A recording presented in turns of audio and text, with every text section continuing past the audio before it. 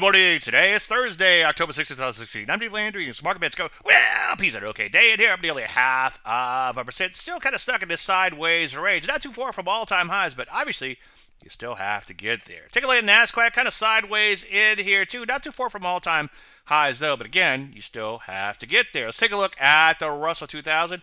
Not a bad day off its best levels. We're still up a little more than half a percent nonetheless. Not too far from multi year highs, but still has to get past these longer term highs. Let's take a look at the bonds.